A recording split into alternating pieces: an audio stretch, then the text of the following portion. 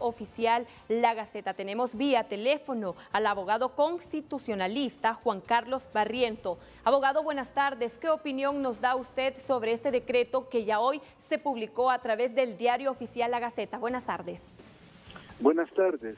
Mire, yo siempre he manifestado de que mientras no esté claramente definido cuál de los dos congresos es el que legalmente va a manejar la agenda legislativa, cualquier acto, cualquier decreto, cualquier cosa que publiquen no tiene validez, como tampoco la tiene lo que discuten y lo que aprueban ahí. Ahí no están integradas todas las bancadas.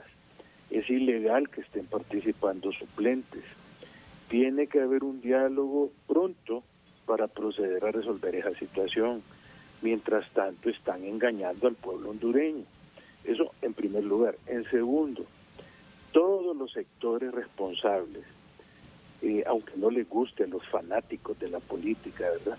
A los que se ponen una venda en los ojos, a los que antes criticaban las cosas y las veían malas y ahora no las critican, se quedan callados y las ven como buenas, a los que antes defendían la Constitución y que ahora simple y sencillamente se hacen de la vista gorda y se convierten en cómplices de las violaciones constitucionales, yo les digo de que ese decreto de amnistía es un pacto de impunidad.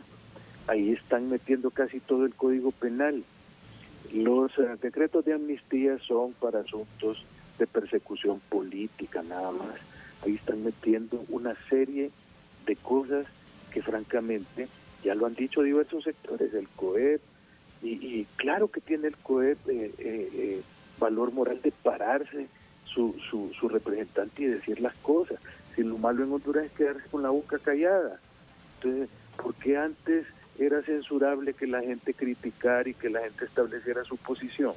Y ahora es malo. Y dicen que uno no tiene altura moral para, para criticar.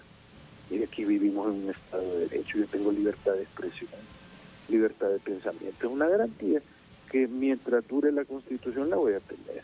Entonces, me parece a mí que es festinado eh, haber hecho esa publicación. Eh, creo que la señora presidenta no debe de prestarse a estar sancionando leyes de un Congreso espurio que todavía no está declarado como legal y más bien deben de enfocarse en resolver este problema porque los principales perjudicados son precisamente eh, los del actual gobierno.